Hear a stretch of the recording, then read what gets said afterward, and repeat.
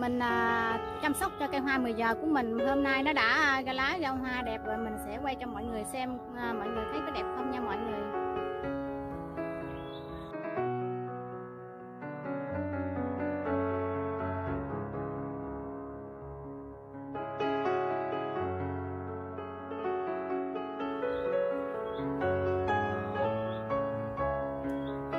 Mọi người có thấy cái cây à, hoa của mình không? Mình à, à, xoắn xoắn xoắn xoắn xoắn theo.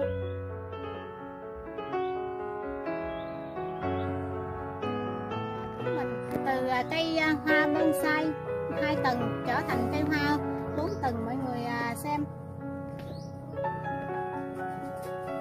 Và à,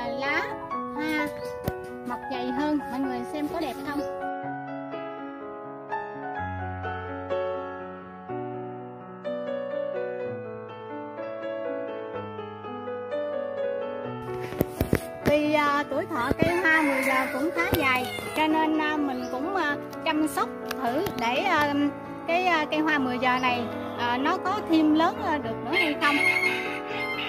Mẹ, mọi người xem video của mình thấy hay, nhớ like, chia sẻ, đăng ký kênh để ủng hộ mình nhé. Và bây giờ mình sẽ dừng video ở đây. Chào tạm biệt mọi người và hẹn gặp lại mọi người vào video sau. Chào tạm biệt mọi người.